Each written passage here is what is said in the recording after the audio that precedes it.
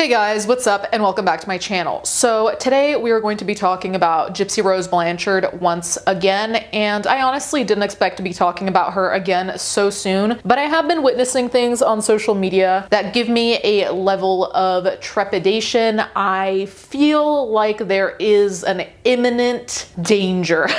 that makes me sound a little crazy and paranoid, but let me explain. Since Gypsy Rose was released, and I discussed this rather recently in a prior prior video link down below, people have been very oh my god, slay queen. There have been memes about her literally slaying her mother. So there's been a lot on social media, let me just say that.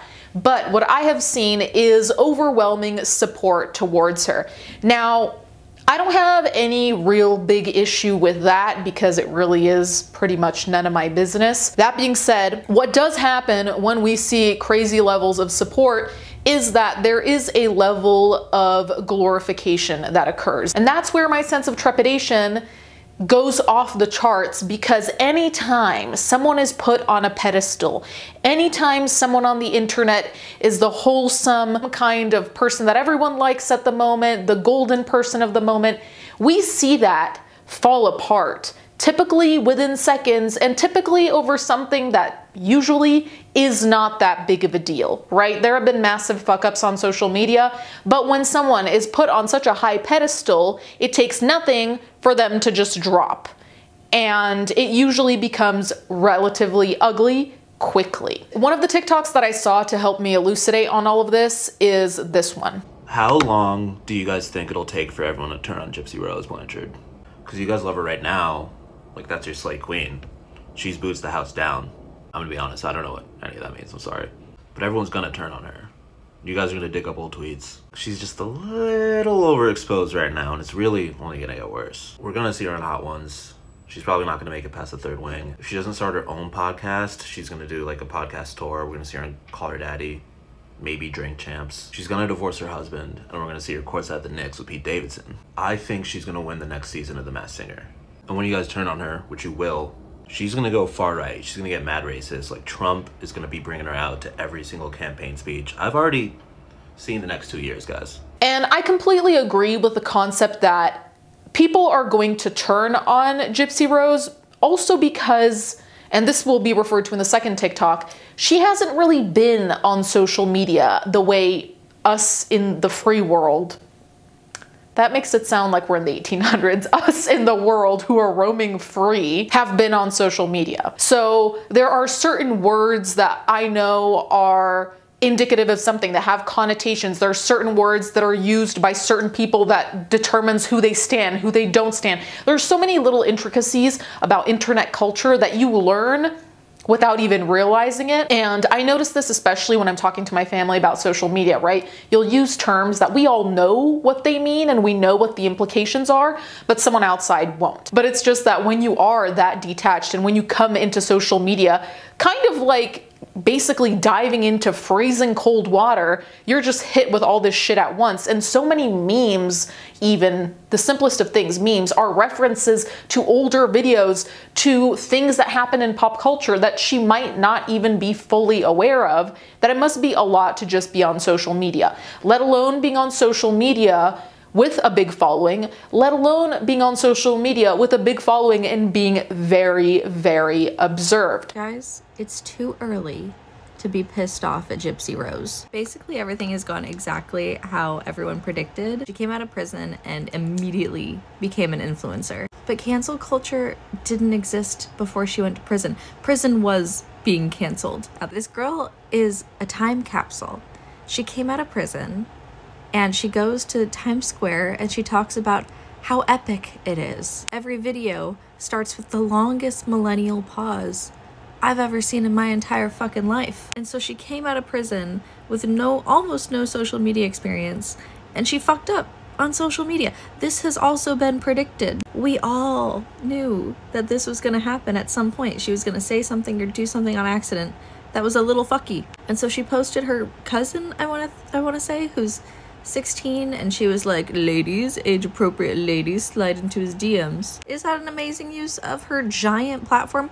No, but she just got the giant platform last week. There's a learning curve here, and we've got to give a little bit of grace. This is not what I'm canceling Gypsy Rose over. If Gypsy Rose comes out as a Trump supporter, I would change my mind. But otherwise, give the girl a second to adjust to having a fucking monstrous platform. Okay, so to contextualize this TikTok, in case you didn't know, Gypsy Rose posted a picture of her and her nephew who is 15. She posted this saying that people should hit him up to date him, ladies, I believe it is.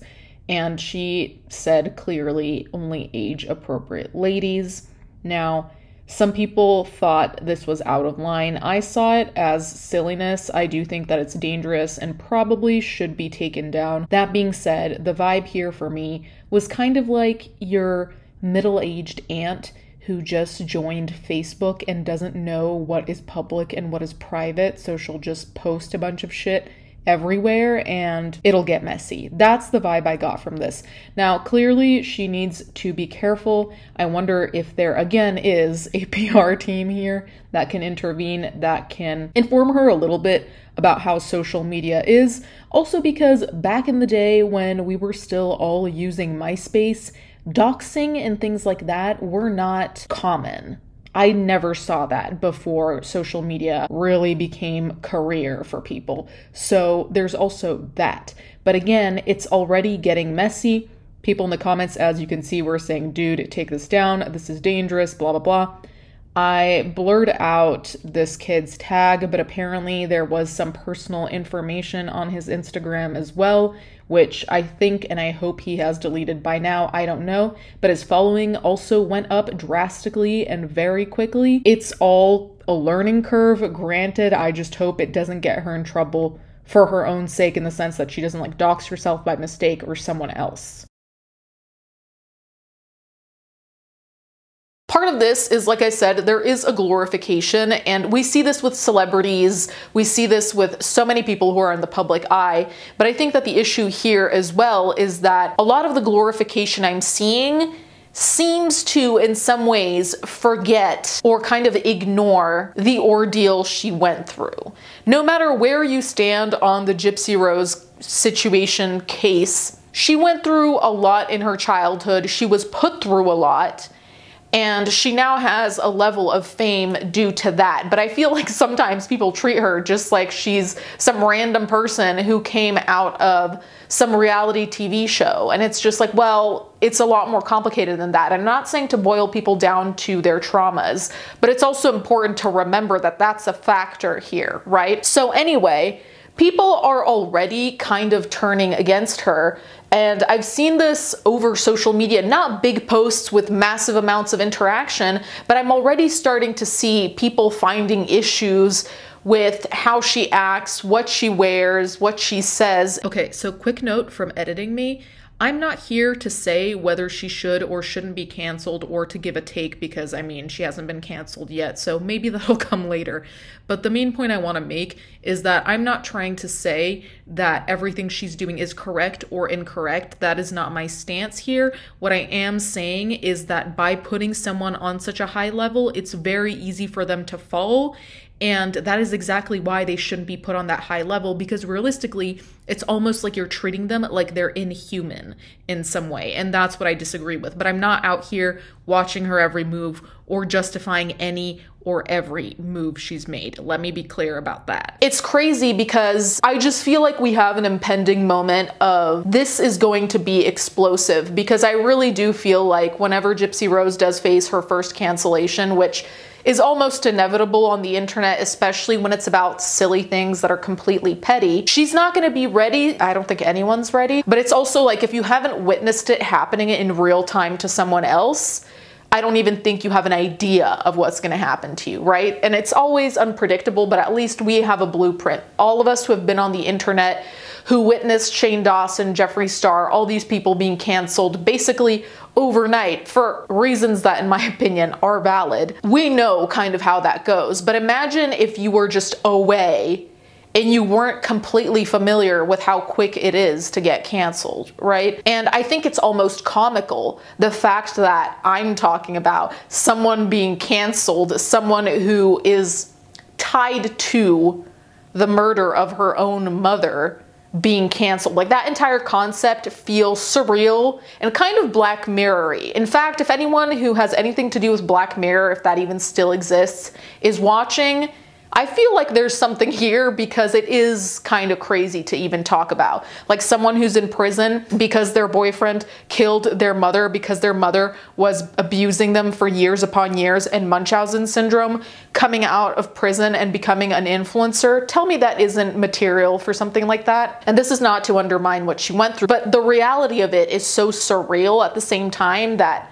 I don't know. You guys can let me know what you think in the comments down below. I think a lot of this is also coming from the fact that she's been on talk shows, she's been on podcasts, and frankly, I don't blame her for that. And I want to be clear that I don't really blame Gypsy Rose for any of the stan culture, I guess, or whatever we want to call it. The people who are really oversimplifying this and the people who are really glamorizing and, you know, turning her into basically a celebrity and that's it. I don't think it's her fault at all, but the fact that she's on all of these things, that she's very much in front of cameras and stuff like that, makes it worse. Not because I don't think she shouldn't tell her story, but the people who want to create a narrative will always be there as well. Does that make sense? Anyway, enough of me rambling. You guys can let me know what you think in the comments down below. I genuinely hope that she doesn't get canceled. I, I hope that none of that happens because I feel like that's probably the last thing anyone needs, but specifically someone in her position. But I feel like there's just so much being thrown her way that it's almost inevitable. Thank you guys so much for watching. Thank you to my patrons as always, and I'll catch you guys next time.